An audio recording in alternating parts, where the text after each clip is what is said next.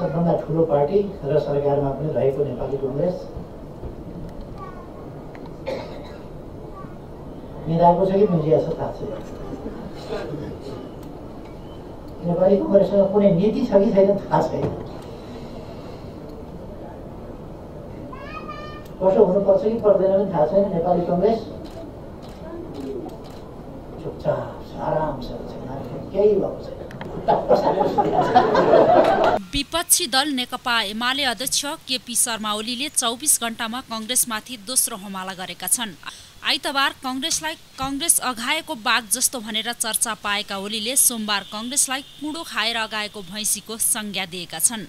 पूर्व प्रधानमन्त्री समेत रहेका ओलीले मुलुकमा केही भएको छैन जसरी चुपचाप बस्नुले कङ्ग्रेस पार्टी कुँडो खाएर अघाएको भैँसीभन्दा फरक नभएको आरोप लगाए।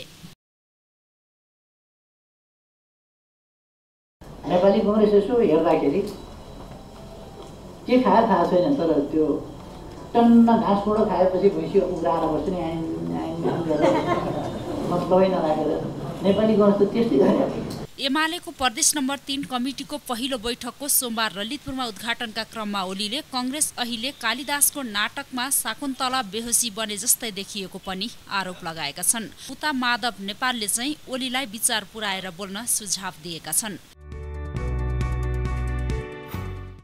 तर अर्कोतर्फ बोल्दा व्यवहार गर्दा संवेदनशील पनि यी कतिपय कुराहरू हाम्रा चाहिँ गरे व्यवहार भएका अभिव्यक्तिबाट पनि बिग्रेका हुन् भन्ने मेरो